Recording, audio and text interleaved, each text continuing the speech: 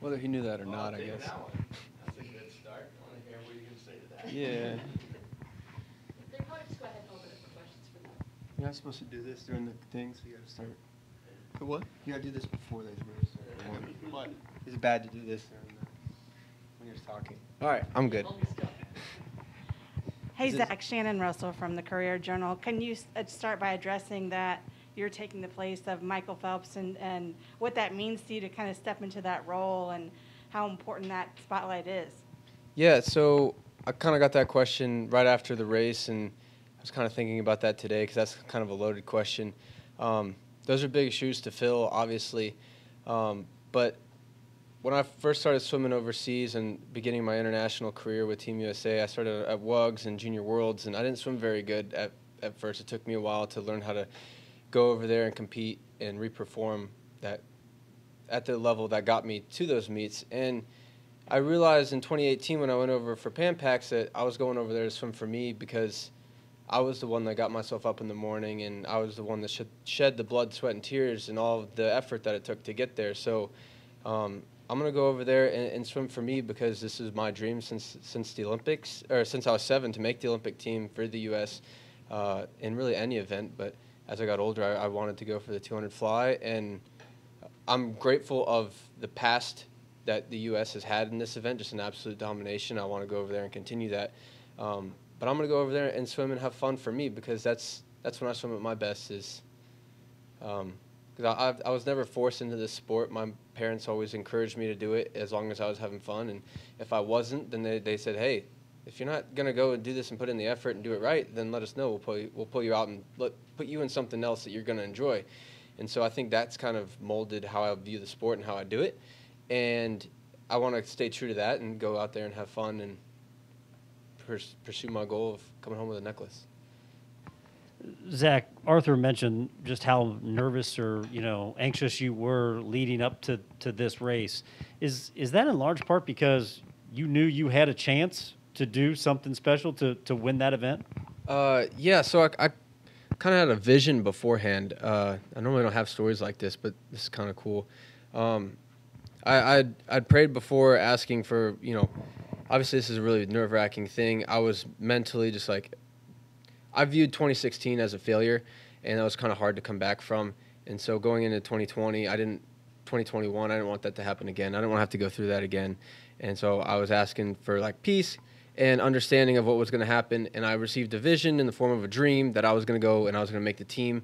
And as it came closer, I realized I knew I was going to win, which I understand now kind of sounds a little cocky and arrogant going in, but it was just this calmness that I knew, it's a solidifying fact, which is why I told Arthur, and uh, when I was about to go into the ready room, I said, next time you see me, I'm going to be a champ.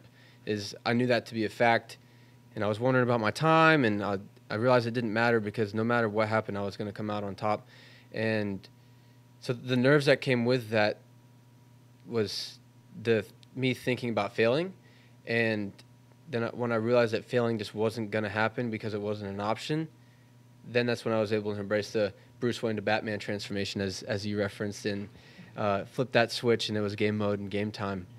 Um, but we were talking, me and the other coaches, they said that there's nothing different physiologically between what goes on in your body between nerves and excitement.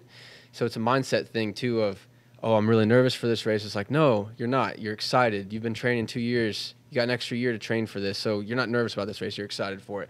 And so that, that difference probably played a, a big impact too.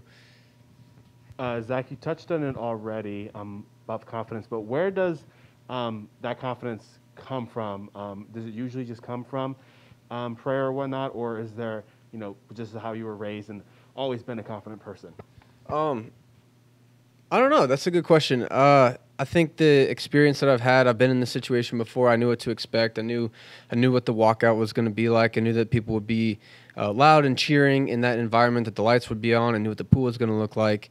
Uh, I've swam at world finals before, so I knew what swimming under high pressure situations was. Swimming on a relay, anchoring, trying to go for a win, uh, and all those different things kind of pulled and realized, me personally, that I was ready for that. I knew what to expect, so I wasn't distracted by any of that. I was more expecting and prepared and looking forward to that. And I knew what to and to not pay attention to.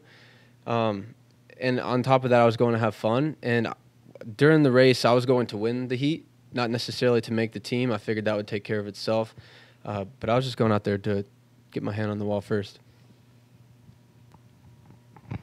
For both of you, uh, Zach, you go first. How did you attack getting that extra year, and what were the obstacles you faced in that extra year, being able to train and get in the pool and all that stuff?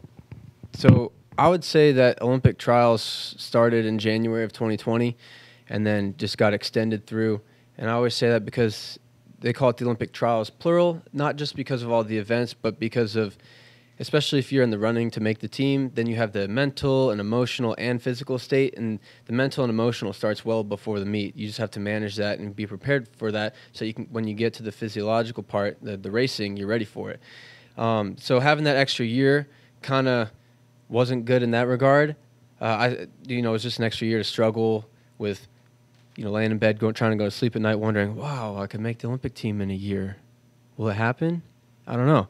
And so, like, tried not to think about that. So I just showed up whenever coach said practice was, and uh, I let him tell me what to do and when to do it. And between him and the strength coach who handled the weights, Jason, uh, I just let them handle the plan, and I just showed up at practice ready to work. Yeah, for me, that extra year was, I think that was the best thing that could have happened to me. Back in 2020, I didn't really have a great season. So I didn't know what was going to happen with qualifying for Olympics, with trials, with getting the cut. So having that extra year, I think, helped me a lot since I was able to drop time, improve, and then at Europeans, which was my main focus back in 2020. Europeans is kind of the competition where Serbians qualify for Olympics. So that European Championships in 2020 was supposed to happen in, I think, April or May, and then it got canceled. And I was like, I didn't know what to do because I didn't know how else to qualify for Olympics. That's kind of the meet we used to qualify. But then after that, Olympics got canceled too. So I was confused. I didn't know what to do. Should I continue swimming? Do I have another year in me to improve? So I kind of talked with the coaches and made a plan and decided to go for another year.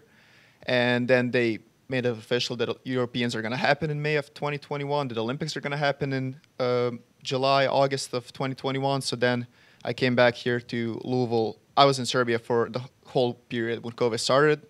And then back in August, I came back to Louisville, started training here, and had my mind on Olympics and just trained for that. And thankfully, at Europeans, I was able to perform at my best and qualify for my first Olympic Games in Tokyo. Sounds good, doesn't it? Like the Olympics, but like Olympic Games. as. Yeah. So, so what are you guys both looking forward to in Tokyo?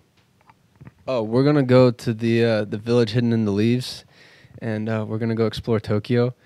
Um, I told him he should go to I think it's Shibuya, something Yeah, like that, yeah. Shibuya, something like The that. Tokyo Drift part. Yeah, and so where they filmed Tokyo Drift is the I think it's the most crowded intersection in the world, and that's where they drift through at the end of the movie, and they don't hit anybody, which is miraculous. And so like you can go there and like be like, wow, that's where they drifted from. Um, so that's that's exciting. Yeah, I mean, obviously our main focus is gonna be swimming, but like when you're in Tokyo, you want to see a couple of things. So Eat some sushi, have some yeah, ramen. sushi, the best sushi in the world. So it'll be fun. You mentioned.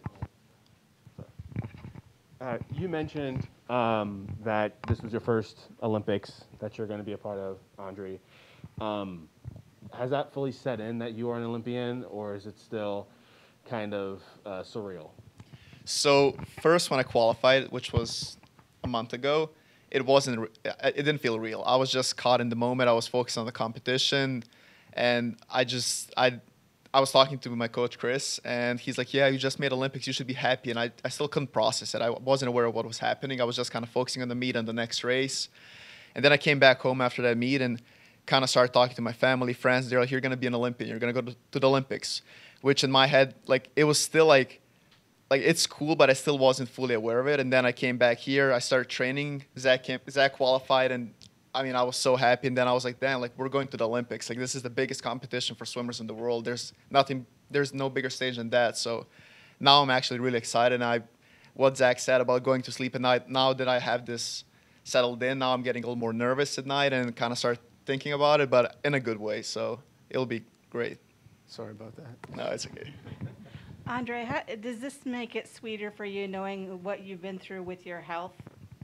Yeah, of course. Uh, I had some obstacles back in 2000, end of 2019 that I didn't know if coming back. I had some surgery, so I didn't know if coming back from that surgery I was going to be able to swim again. And there was a lot of things that I had to figure out.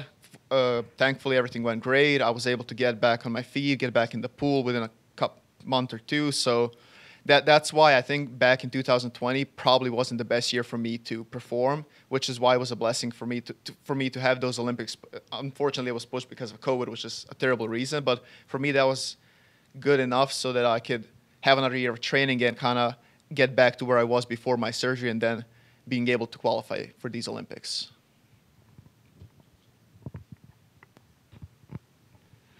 For both of you again, whoever wants to go first, how will you handle rooting for your teammate because they're on the other team now?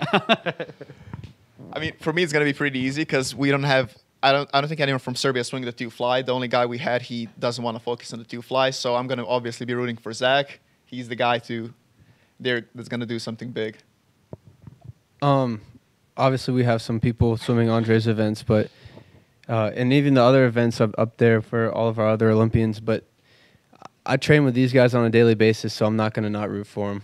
And I might not just say it super loud, but definitely if we don't have anybody in the heat, they're gonna get my support. And if I, we do have somebody in the heat, they're still gonna get my support.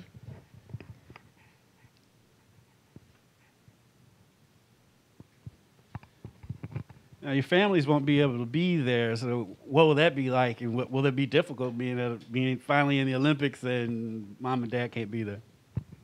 Yeah, so when the news kind of came out that they weren't allowing for uh, international spectators, my mom was super distraught. So gave her a phone call, and she was like, "Is that final? Are they sure?" And I was like, "Yeah, I think so."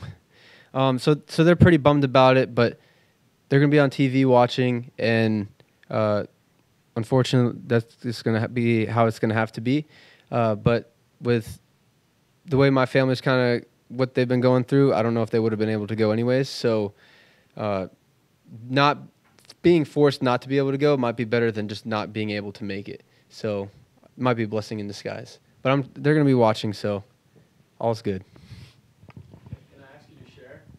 Are you okay with that? Yeah. So my dad has CKD, which is chronic kidney disease, and so basically his one of his one or both of his kidneys basically start started attacking itself, and my mom was a donor, uh, was the donor, and it's they had four out of six markers, which is a pretty big deal. Blood relatives don't normally get that high, so it's very big from a medical perspective to have a four out of six match, and so uh, when COVID hit, my parents got the got the transplant and got that done and my dad's doing a lot better now but uh, basically he was dying and my mom was able to step in and save his life and i was able to go in and help them get back on their feet which is kind of it was really special for me and really weird because i had to parent my parents for a little bit uh, but it was special for me to be able to be there for them when they had been there for me all this time and so being able to be there for them was massive and now they're back on their feet they're both doing great they're both my dad's the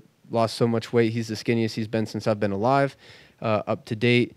I'm sure that'll keep going down. My mom's doing good, back working out and stuff. And so uh, their lifestyle has changed, their perspective has changed. And it was, COVID happening was allowed that to happen. And uh, so, yeah, I'm, I'm glad that, that the spectator seating is the way that it is so that they can't go because of the, if my dad gets COVID, it'd be really bad. So this works out better.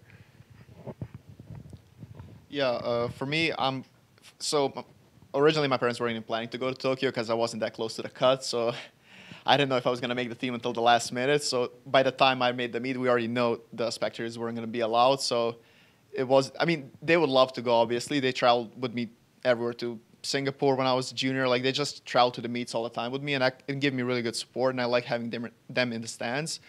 Unfortunately, they won't be there in Tokyo, but they'll be home watching it at 5 a.m. in Serbia, which I don't know if they'll stay awake for. I hope they do, but it's gonna be fun.